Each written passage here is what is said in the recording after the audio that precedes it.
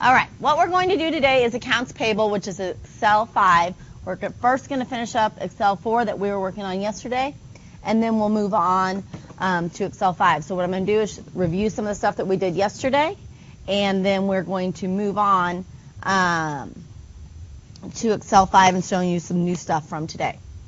So, what is the first thing you notice up here? What's going on with these columns? Can I see all the words up here in my titles?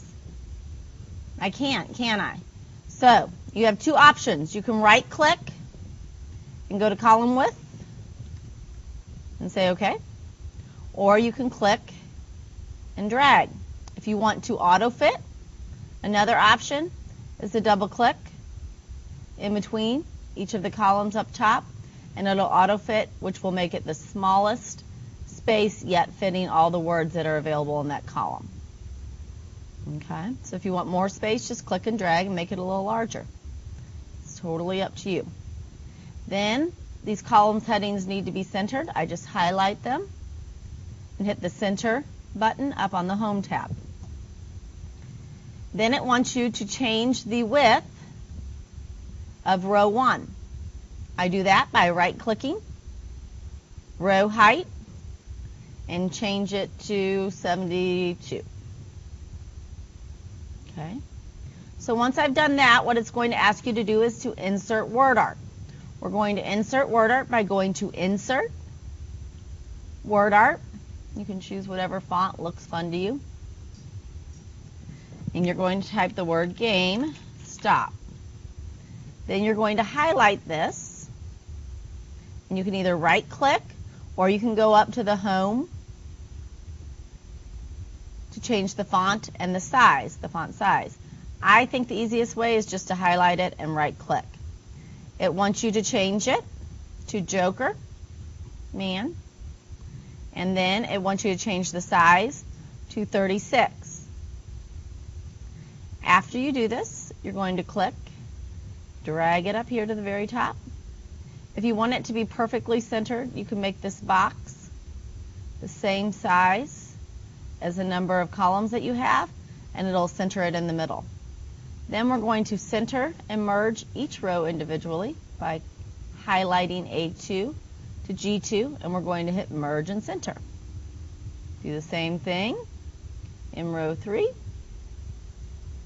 And we're going to do the same thing in row 4. Once again, this is on the Home tab.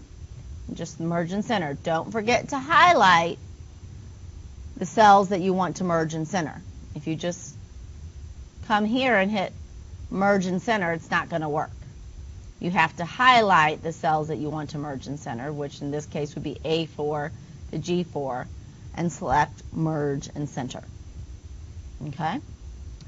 Then, the next thing that it wants us to do is to change the format of the amount billed. You have two choices here. You can change it to currency. Or if you'd like to do it manually, which is a little bit more difficult, you can have two decimal places and then you can insert the comma. It won't have the dollar signs, but it still shows up with two decimal places and comma. I personally think the easiest way to do it is to change it to currency because it's money. So I just highlight, go up to the Home tab, the number section, and select currency. Now what we have next here is a percent. 0.04, 0.04, 0.06, etc. I want to show this in percent value. If I put a percent sign behind it, it might think it's text, right? We don't want to think it's text. We want to think it's number so we can use it in formulas and functions. So we are going to highlight the column, and then we're going to come here and we're going to select the percent. If you wanted more decimal places, you could add them, but for this assignment, you don't need any decimal places, so you can just leave it just like that. So then you're going to move on, and you'll do the purchase discount. The purchase discount is equals the amount billed. Multiplication is using an asterisk, the percent discount.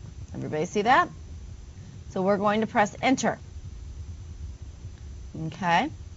Once we've done that, what's wrong with this?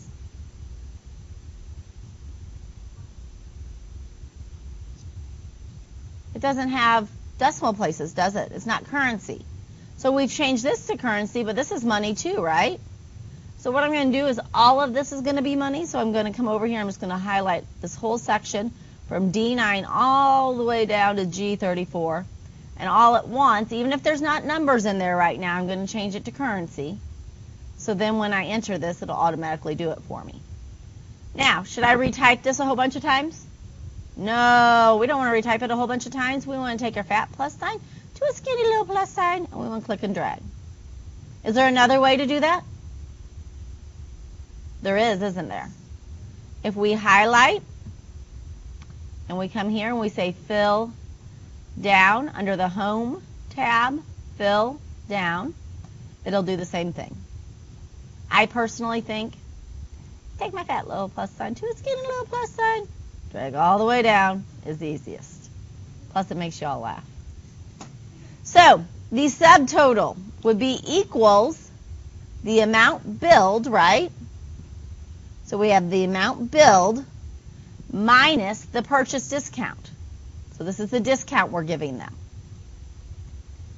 Then the sales tax is 8.25%. So we're going to say equals the amount billed or the subtotal?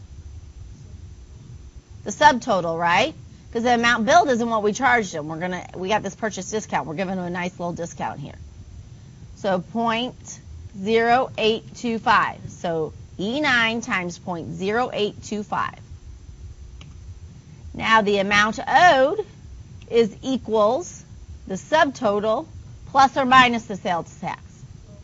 Plus the sales tax, and you press enter. Now I'm going to take all three of these. I'm going to take my fat little plus sign to my skinny little plus sign and scroll it all the way down. Just did all that work for me, didn't it? It's a beautiful thing. Now, we have the totals, average, maximum, minimum. This is where we're going to use all these functions. We've used functions in some of the Excel lessons we've done previously, but I'll review them with you real quick. Totals, so this is just when we're going to total everything up. We're just going to sum that. The average,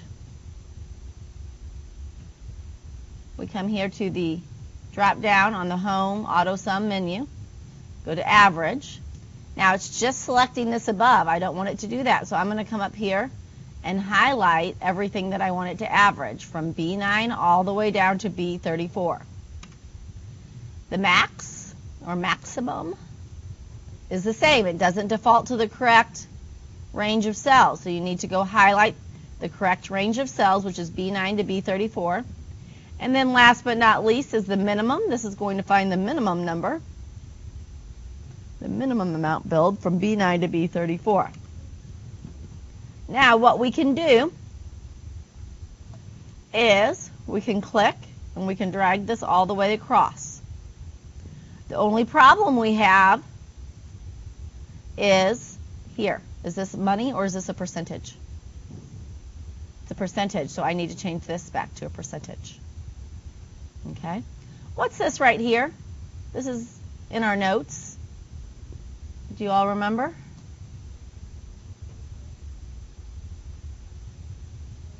What's that number sign about right there? What's that mean? It means that this column is too small. So if I make this column larger, does everything fit now? Yes. Okay. So this is all the new stuff you're going to learn for Excel 5, which is accounts payable. One thing you've been forgetting, let me remind you. Some of you have been forgetting to insert your header. Says it in the directions, but do not forget to insert your header, there still three spaces up here. So to insert on your left, you put your name.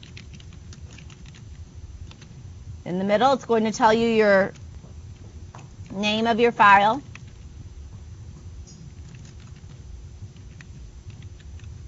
And then last but not least is today's date.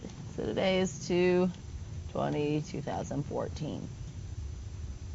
Okay? One other thing that you need to remember, are, am I on one page right now? I am not on one page, am I? Do not forget we always want to print on one page because we do not want to use extra paper.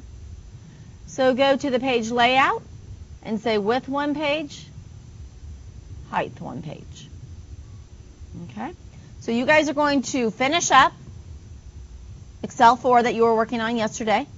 I know a lot of you needed some extra time on that, and then we are going to move on to Excel 5. My goal is by the end of the day for you to have 4 and 5 completed. Okay? Thank you.